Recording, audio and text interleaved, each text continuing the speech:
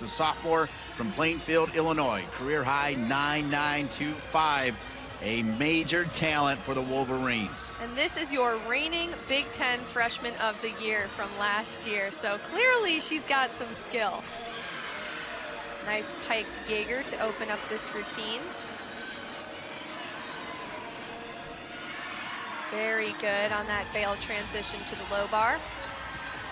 Michigan with 97 individual champions all time. And that was a difficult dismount. Everyone normally does a single